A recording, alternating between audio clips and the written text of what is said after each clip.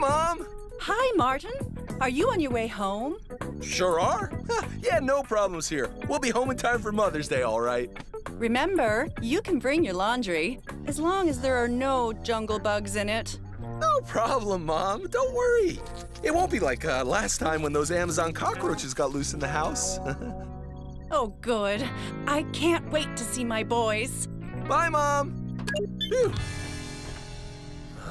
It's not every day you get to Madagascar. Who knows when we'll be able to get back here? Fossa sure must be amazing in the trees to be able to catch lemurs. I mean, they'll catch anything they can. But more than half of what they eat is lemurs. How do they do it? Who knows when we'll find out. So what did you guys get your moms for Mother's Day? I got mine this sundress from a stop in Indonesia. I made mine a pizza sculpture from shells I found on the beach. I invented a banana slicer for mine. Cool. What about you, Martin? Uh, well, I, uh, hmm. He forgot.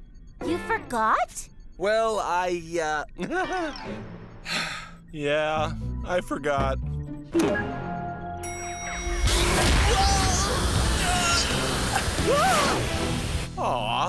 Can't show up for Mother's Day without a present, can I?